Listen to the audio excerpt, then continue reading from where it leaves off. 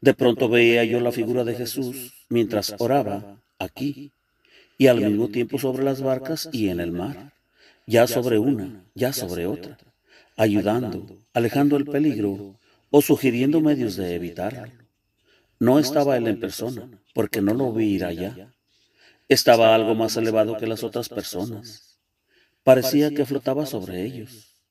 La gente de las barcas no lo veían. Era como si su espíritu obrase ahí mientras su cuerpo estaba lejos.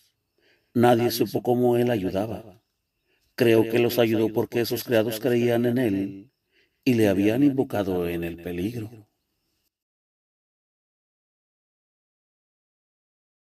Ana Catalina Emery, Visiones y Revelaciones Completas, cuarta parte. La vida de Jesucristo y de su Madre Santísima. Época tercera.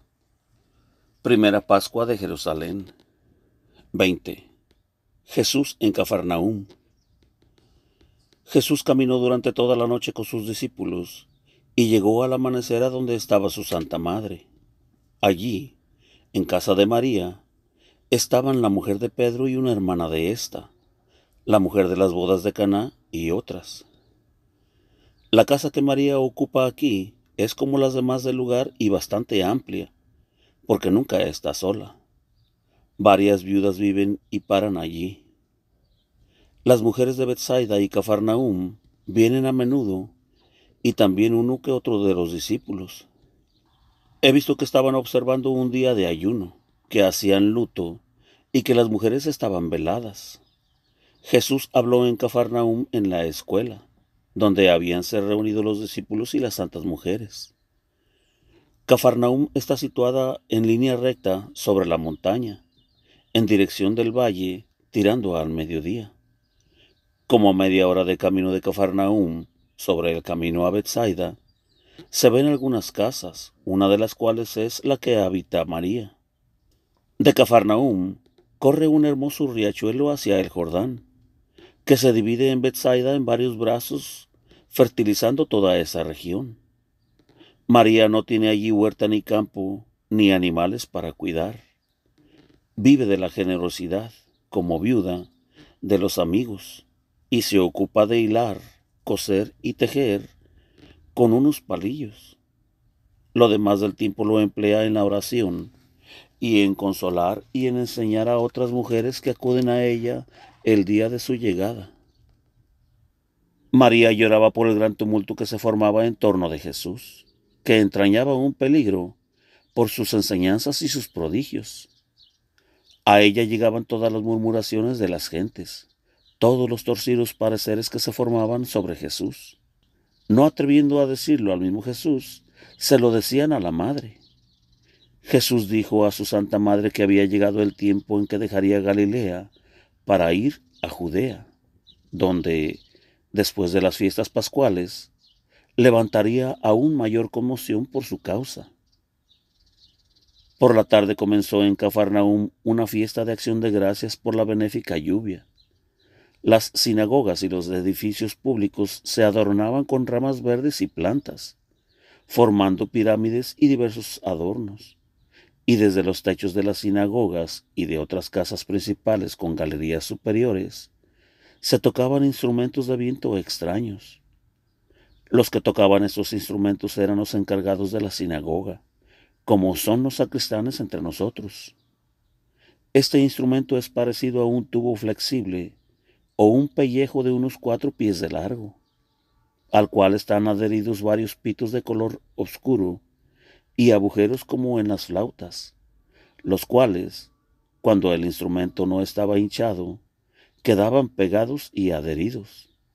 Cuando, en cambio, se hinchaba, soplando dentro un hombre, otros dos lo sostenían en alto, y estos tenían el encargo de llenarlo de aire, soplando también o dando fuelle. Con el cerrar o abrir de los diversos agujeros del instrumento, daba unos sonidos muy agudos de diversos tonos. Los dos hombres de al lado se turnaban en soplar. Jesús habló en la sinagoga de un modo impresionante sobre la sequía y la lluvia.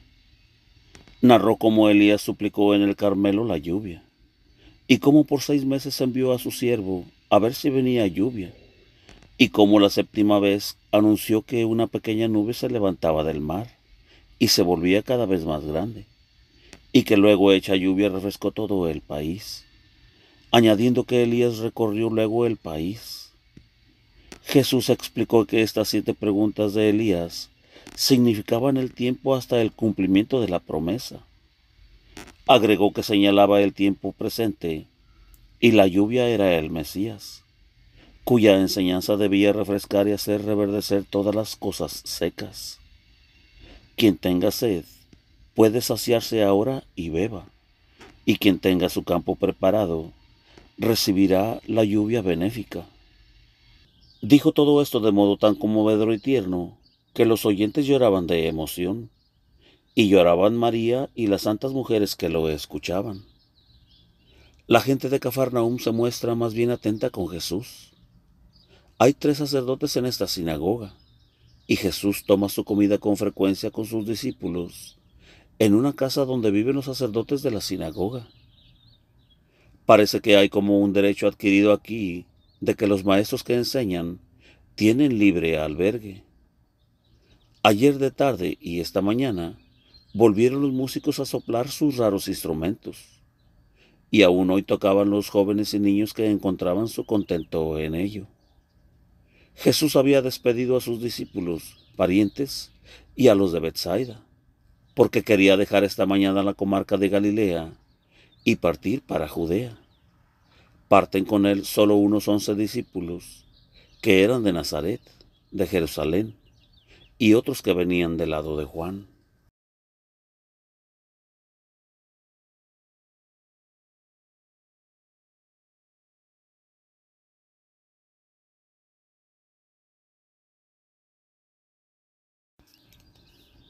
21. Jesús ayuda a unos náufragos. Después de la fiesta de acción de gracias, partió Jesús de Cafarnaum en dirección sudeste, como quien va entre Caná y Séforis. María y otras ocho mujeres le acompañaron un trecho. Entre ellas estaban María de Cleofás, las tres viudas, la mujer de las bodas de Caná y una hermana de Pedro le acompañaron hasta una pequeña población donde tomaron alimentos juntos y despidieron a Jesús. En esas cercanías estuvo el pozo donde José había sido bajado por sus hermanos. El lugar se llama Dotaín. Hay otra Dotaín más grande que este poblado, en el valle de Esdrelón, como a cuatro horas al norte de Samaria. Este Dotaim es un pequeño pueblo donde sus habitantes viven de traficar con los mercaderes que pasan por sus carreteras. Está al final de un valle con pradera como para ochenta animales. Del otro lado está el gran edificio donde Jesús, en otra ocasión, hizo callar a una multitud de endemoniados que gritaban al verlo. Esta vez no entró en este lugar, que está a una hora y media entre el norte y oriente de Séforis y a cuatro o cinco horas del monte Tabor. Los discípulos le habían precedido para buscar albergue. Salieron al encuentro de Jesús y de las santas mujeres, unos ocho hombres y sacerdotes que los acompañaban, a una casa que nadie habitaba y donde estaba dispuesta la comida. Delante de la entrada habían extendido una alfombra por donde debía pasar él. Allí le lavaron los pies del polvo del camino. Las mujeres comieron aparte, detrás del hogar. Jesús y sus discípulos estaban tendidos a la mesa. Se comía solo alimentos fríos, pequeños panes, miel, hierbas verdes que se sopeteaban y frutas. La bebida era agua mezclada con bálsamo, de la cual dieron a Jesús y a las mujeres pequeños recipientes para llevarse. Los sacerdotes de la ciudad servían de pie con admirable humildad y amor. Jesús habló de José, que en este lugar había sido vendido por sus hermanos. Fue una escena tierna y conmovedora que me hizo llorar. Para mí es esto extraño. Todo pasó tan cerca de mí que quisiera tomar parte, hacer esto o aquello, y no puedo hacerlo. Después de esta comida, las santas mujeres tomaron el camino de vuelta a sus hogares. Jesús se despidió a solas de su madre y luego pasó a saludar a las demás mujeres. He visto que Jesús también abrazaba a su madre cuando se despedía y se encontraba, estando a solas. En otros casos solo le daba la mano o se inclinaba, saludando cariñosamente. María lloraba en esta ocasión. María presenta un aspecto joven, está crecida, aunque de delicados rasgos. Tiene frente alta, nariz prominente, ojos grandes, aunque siempre inclinados al suelo boca rosada muy atrayente, tez algo morena, con mejillas rosadas y aterciopeladas. Jesús permaneció algún tiempo en el albergue enseñando. Los hombres que no quisieron ninguna paga por las comidas le acompañaron hasta el pozo de José, que está como a media hora de camino en el valle. Este pozo ya no es como fue en el tiempo en que José fue encerrado adentro. Entonces era una cisterna seca con borde verde. Ahora lo han hecho un recipiente cuadrado bastante amplio, casi un pequeño estanque, y le han puesto un techo sostenido por columnas.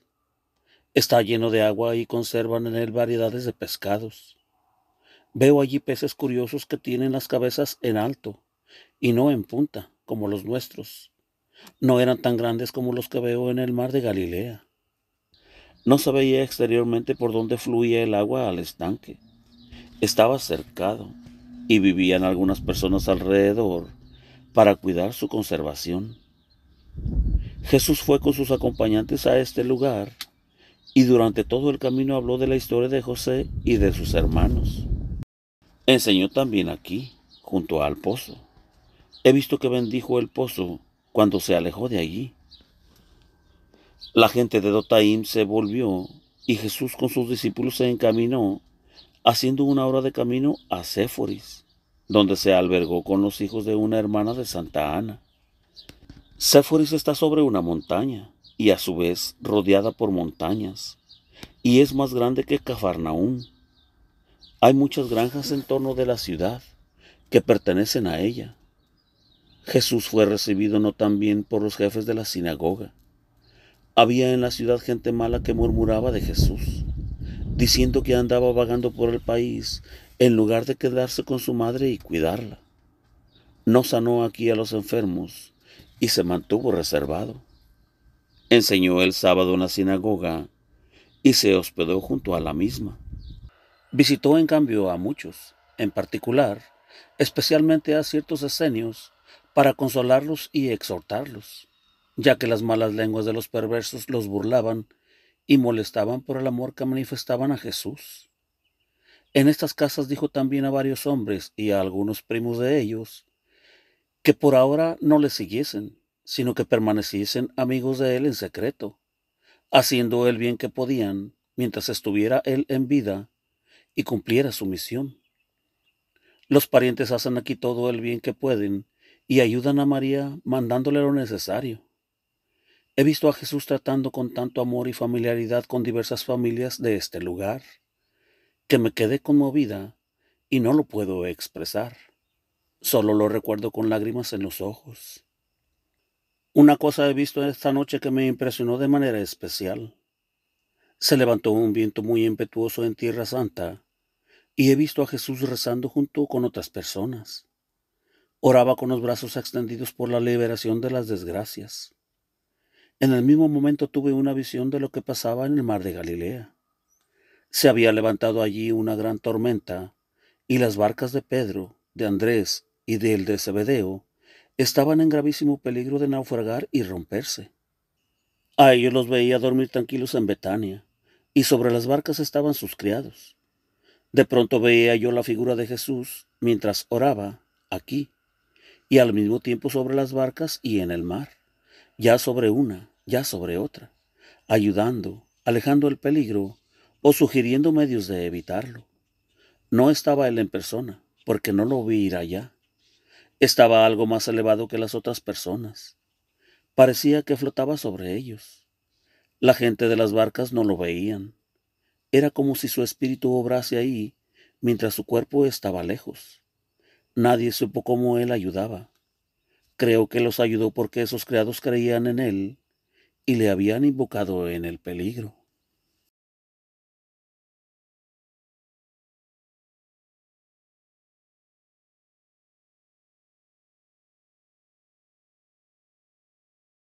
Veintidós. Jesús en Nazaret. Los tres jóvenes. La fiesta de Purim. Desde Séforis fue caminando Jesús por senderos extraviados hasta algunas charcas, donde consoló y exhortó en dirección a Nazaret, que está a dos horas. Tenía entre sus discípulos a dos o tres jóvenes hijos de unas viudas de Esenios. Al llegar a Nazaret, se albercó entre gente amiga y visitó a algunos en particular, sin llamar la atención. Los fariseos vinieron a verlo exteriormente respetuosos pero llenos de perversiones contra él. Le preguntaron qué pensaba hacer, por qué no se quedaba con su madre. Jesús les contestó serio y decidido. Aquí todo es preparativo para un día de ayuno por Esther y para la familia de Purim, que sigue de inmediato. Jesús enseñó en la sinagoga muy severamente. De noche lo he visto nuevamente orando con los brazos extendidos. Lo vi aparecer en el mar de Galilea durante una tempestad. El peligro fue esta vez mayor y vi muchas barcas a punto de hundirse. Vi que Jesús ponía las manos en el timón sin que el timonero se diera cuenta. Después vi que los tres jóvenes ricos que habían estado antes con Jesús volvieron a rogarle que los quisiera tomar como discípulos. Casi se hincaban delante de él. Jesús no los admitió. Les dijo varias cosas que debían observar si querían ser sus discípulos. Jesús veía que estos jóvenes tenían solo miras humanas y no entendían otros motivos. Querían seguirle como se seguiría a un filósofo, a un famoso rabino, para con la ciencia aprendida de tal sabio, dar honra a la ciudad natal de Nazaret. Les dolía porque veían que jóvenes de humilde condición y pobres de la ciudad le seguían y lo recibían y ellos eran rechazados. Después vi a Jesús hasta altas horas de la noche con el anciano ensenio Eliud de Nazaret. Este anciano parece estar en las últimas y está siempre sobre su lecho. Jesús está como tendido junto a él y apoyado en su brazo, le habla. El hombre está todo absorto en Dios. Con el principio de la fiesta de Purim, se oyen los sonidos de un instrumento que tocan sobre la sinagoga. El instrumento está apoyado sobre un trípode. Es bueno, con varios pitos, que entran y salen, y emite una melodía de varios tonos. Había niños que tocaban en arpas y pífanos. En honor de la heroína Esther, hoy gozan de grandes libertades y derechos las mujeres y las jóvenes en la sinagoga. No estaban, como de costumbre, apartados de los hombres, y hasta podían acercarse al recinto de los sacerdotes. Vinieron a la sinagoga procesiones de niños con varios vestidos, unos de blanco, otros de colorado. Entró también una joven que traía un aderezo extraño en la garganta. Tenía una banda roja de sangre, figurando la garganta cortada, y de esa banda pendían cintas coloradas con botones sobre el vestido blanco como si cayese sangre desde el cuello sobre la vestidura. Era una especie de comparsa, pues marchaba con un espléndido manto cuyos extremos sostenían otras jóvenes, y le seguía una multitud de jóvenes, niños y niñas. Llevaba una gorra alta y puntiaguda y un velo muy largo. En la mano traía algo como un cetro. La joven era hermosa y alta. No pude comprender qué se representaba me parece que representaba a Esther y me recordaba, por otra parte, a Judith, pero no parecía la que mató a Holofernes, pues venía con una criada que traía un cesto con preciosos regalos para el primer sacerdote. Le regalaba placas de preciosa hechura, que traía a veces sobre la frente, a veces sobre el pecho. En un rincón de la sinagoga veíase, detrás de una cortina, el simulacro de un hombre tendido sobre un lecho del cual esa joven le quitaba la cabeza y la presentaba al sacerdote principal. También daba a los sacerdotes, por una antigua costumbre, una amonestación sobre las principales faltas que se habían notado en el año. Después de esto se retiraba. Vi que en otras fiestas semejantes tenían derecho ciertas mujeres de hacer amonestaciones a los sacerdotes. En la sinagoga estaba abierto el libro de Esther, y de ese rollo se iba leyendo por turno. También Jesús leyó. Los judíos, especialmente los niños, tenían maderitas y pequeños martillos consigo. Tirando un hilo pegaba el martillo sobre determinado nombre, mientras decían algo al mismo tiempo. Esto lo hacían cada vez que aparecía en la lectura el nombre de Amán. Se celebraron también solemnes comidas. Jesús estuvo con los sacerdotes en la gran sala. Durante esta fiesta se veían adornos como en la fiesta de los tabernáculos, muchas coronas de flores, hermosas rosas tan grandes como cabezas y pirámides de flores, hierbas, hojas, ramas y muchos frutos. Sobre la mesa se ponía un cordero entero y me maravillé del espléndido mensaje que usaban en el servicio. Había fuentes de varios colores transparentes, como piedras preciosas. Las gentes se hacen hoy muchos regalos unas a otras, alhajas, vestidos de fiesta, túnicas, manípulos, velos, correas con borlas y adornos varios. Jesús recibió un vestido de fiesta, con borlas en una parte inferior, pero él no quiso aceptar y lo regaló a otros. Muchos daban sus regalos a los pobres, los cuales eran en estos días muy recordados. Después de la comida pasó Jesús rodeado de sus discípulos y de los sacerdotes en una especie de parque de recreo cerca de Nazaret. Tenía consigo tres rollos escritos y el libro de Esther, y por turno lo leían algunos trozos. Grupos de jóvenes y doncellas seguían detrás. Las doncellas oían la lectura a cierta distancia. He visto a algunos hombres yendo de casa en casa, cobrando algo como una contribución. Desde Nazaret se dirigió Jesús con sus discípulos hacia la ciudad de Afeque, a cuatro horas de distancia, pero volvió a Nazaret para la fiesta del sábado y luego visitó al moribundo Eliud. Los sacerdotes de Nazaret no podían comprender cómo pudo Jesús adquirir una ciencia tan grande después de su corta ausencia de Nazaret. No podían contradecir su enseñanza con éxito y algunos le tenían verdadera envidia. Cuando abandonó Nazaret, le acompañaron un trecho de camino.